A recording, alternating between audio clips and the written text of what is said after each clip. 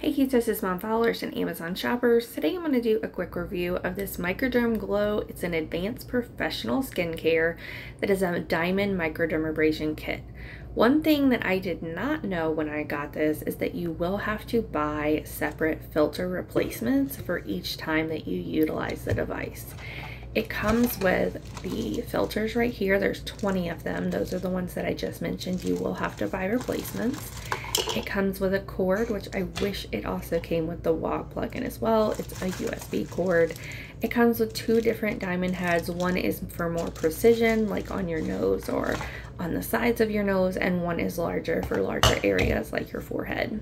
There's a charging base, the cover for the end of the unit, and then the unit itself. These are the two different heads that you can choose from to use. Obviously one is larger and one is smaller.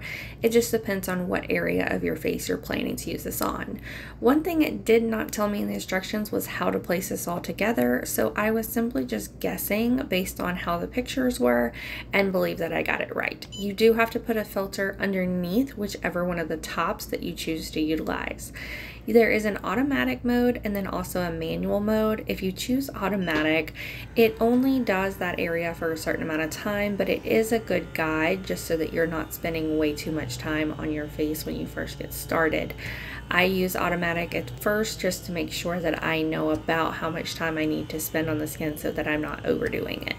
I tested on my hand first just because I wanted to see how red this was going to make my skin and exactly how much skin it was going to be pulling off. You can see those lines right there. They're kind of red.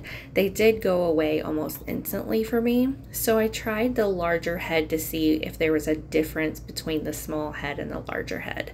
For me, I feel like there's more suction with the larger head. So for my skin, that's what I wanted to use was the larger section where I get more suction and then it's covering more area for the microdermabrasion treatment.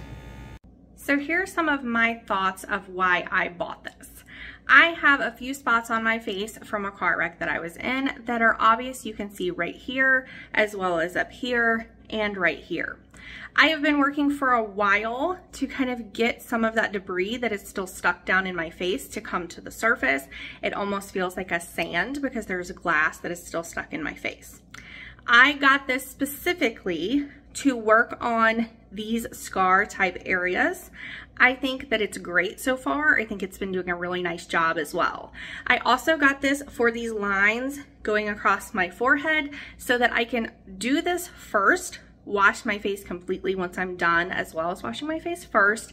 And then after I do the microdermabrasion treatment, put on one of my anti-aging wrinkle whatever type treatments or creams that I use so that I'm treating a new layer of skin.